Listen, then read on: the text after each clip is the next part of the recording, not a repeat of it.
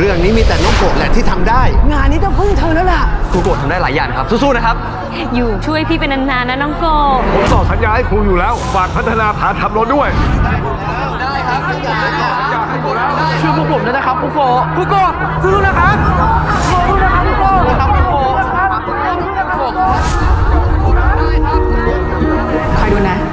เดี๋ยวก็จะมอบหมายให้เธอได้รับผิดชอบงานสำคัญ